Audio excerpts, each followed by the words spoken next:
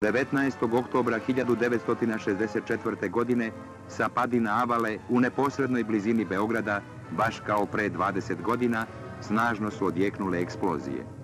Avion Il-18 sa članovima sovjetske delegacije, koja je trebalo da prisustuje proslavi 20. godišnjice oslobođenja Beograda, izgubio je visinu i udario u Avalu.